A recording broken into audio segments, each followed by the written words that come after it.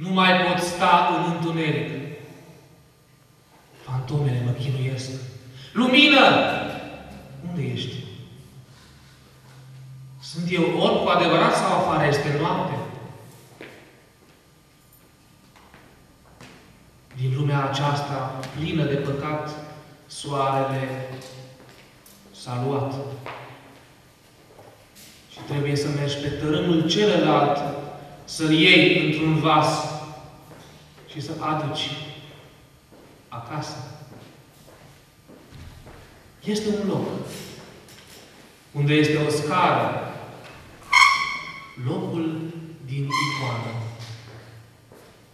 Ce are un capăt agățat de cer și un jos de pământ pe care soarele coboară și tu, de la piciorul scării, trebuie să-l prinzi într-un anume vas, că altfel curge fără oprire.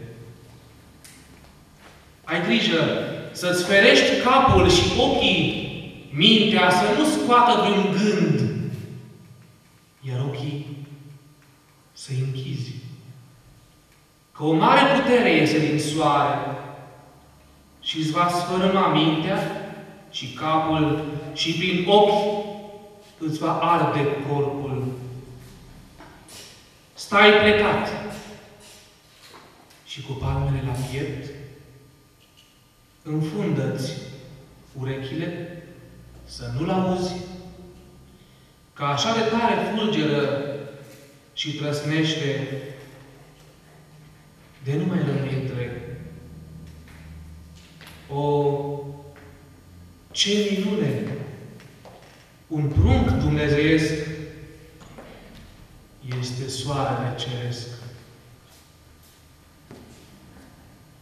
Am citit un scurt fragment din uh, poemul Ritualul iconic al uh, Aveghelasie Gheorghe și pentru că mai sunt câteva zile până la adormirea Maicii Domnului, câteva versuri foarte frumoase.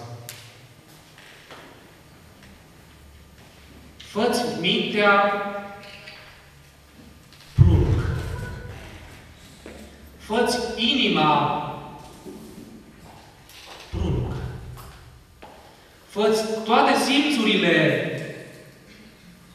prunc. Asemenea pruncului Hristos și cu pruncul dumnezeiesc zi rugăciunea Tatălui Ceresc. Cine iubirea lui Dumnezeu să o cuprindă? Doar Fiul Său poate.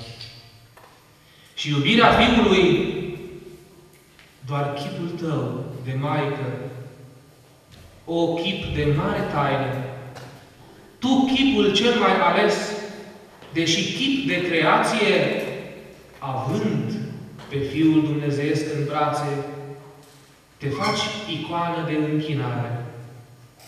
Bucură-te, icoană de dumnezeiască întrupare.